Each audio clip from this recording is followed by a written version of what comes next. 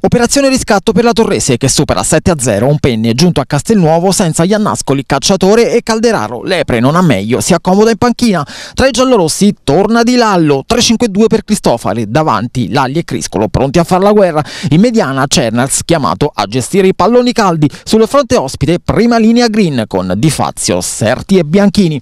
Minuto 5, energia pura Criscolo. Il 7 giallorosso ruba palla al Reale e giunto in aria sbatte sullo sportello del difensore per Amatangelo è calcio di rigore. Dal dischetto lo stesso Criscolo, occhi negli occhi con D'Amico ed è 1-0.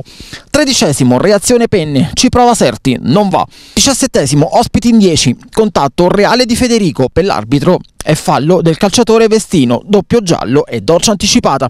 Minuto 20, bussa ancora la Torrese, di Federico, offri per Lalli, rammendo d'amico. 23esimo, riappare la squadra di casa. Lalli sente la porta vicino e sa cosa fare. Il 9 giallo-rosso lucida la stecca e manda in buca d'angolo 2-0.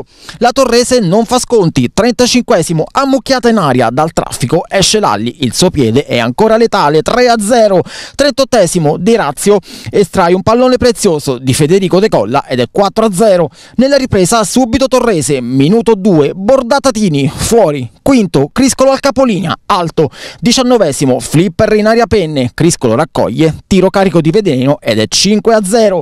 Ventinovesimo, Gelsi dal cono centrale, apre per Puglia, che non gratifica la scelta del compagno. Gara chiusa, ma che? Minuto 44, Festa apparecchia per Criscolo, tocco di prima ed è 6-0. Passa un minuto, Puglia prende la tangenziale, porta nel mirino ed è 7 a 0. È questa l'ultima emozione del match. Da qui alla fine non si registrano altri sussulti. A Castelnuovo è show torrese.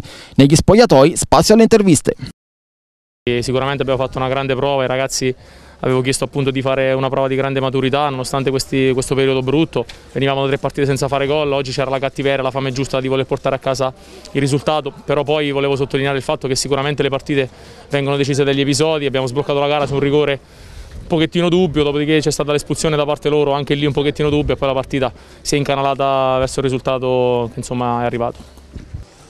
Beh, sicuramente l'essere rimasti in 10 così poco, così velocemente.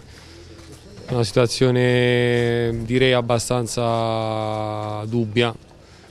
Già il rigore mi è sembrato troppo generoso sinceramente perché il nostro terzino colpisce la palla in maniera abbastanza netta però viene punito con, con il calcio di rigore e dopo su questo duello aereo ha preso questa decisione dove ha lasciato un po' tutti eh, sconcertati. È chiaro che poi il resto ce l'abbiamo messo noi.